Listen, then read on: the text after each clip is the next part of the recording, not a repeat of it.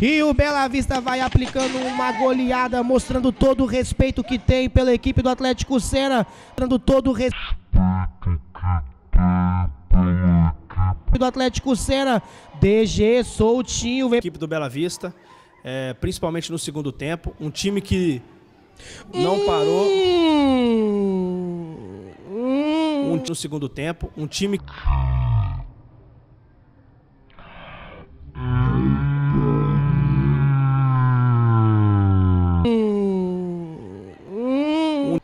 Mas se precisar mostrar a caixa de ferramenta. Não, não pede não. O levantamento, olha o Bela Vista, batida! Inheco! Gol!